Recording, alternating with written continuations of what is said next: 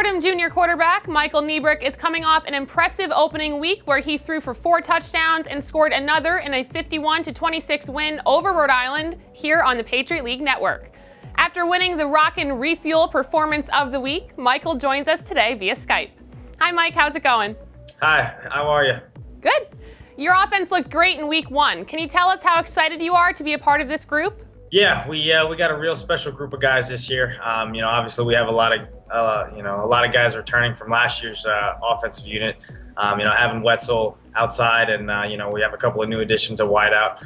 Um, our offensive line's been strong. They actually had a, a nice performance in the first game, so um, it's a fun unit to be a part of. Obviously, it's a fun system to be a part of. So uh, you know, hopefully we can continue the, uh, the success throughout the season. What can you tell us about Sam Ajala's catch in the back of the end zone for the first touchdown?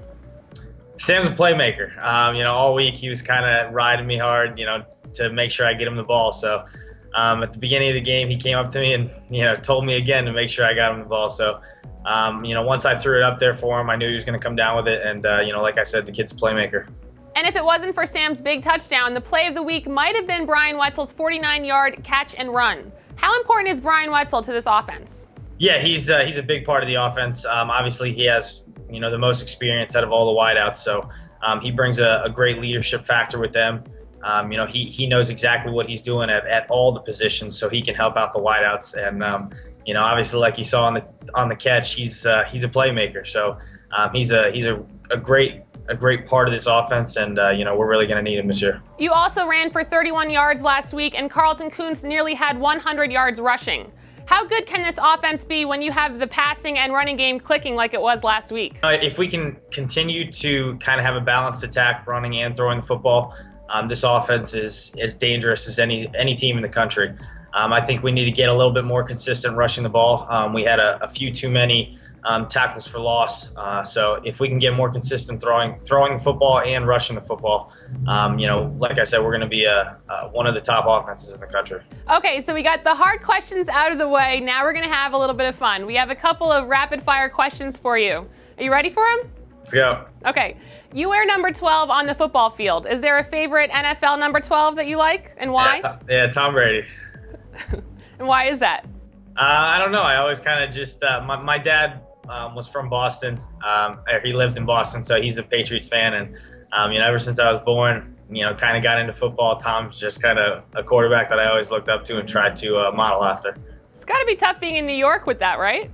Yeah, I'm not from New York, so it's a little uh, different. So we hear that you have a pregame ritual that you do. It's part of a superstition that started in high school.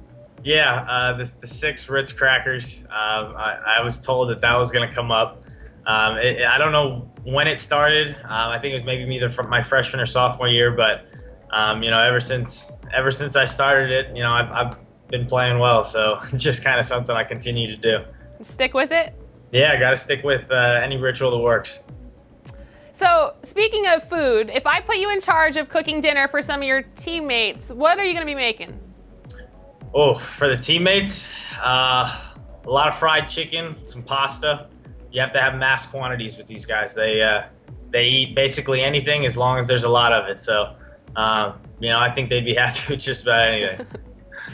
and lastly, for those who haven't been to Fordham, where would you recommend they visit when they're down in your area? Oh, um, obviously, you know, there's there's Manhattan, there's Times Square, all that stuff. But um, you know, around here, I think you know the biggest thing is just coming on campus actually and visiting Fordham as a school. Um, you know, you get the the city life outside of it, and then you know as soon as you step on campus, it feels it feels very much like a college town campus. So. Um, I think it's a very, a very unique campus, and I think something uh, everybody should come and, and try and visit if they're around here. All right, thanks, Mike, for your time. Congratulations on a good start to the season, and good luck the rest of the year. All right, thank you very much. Thanks for having me.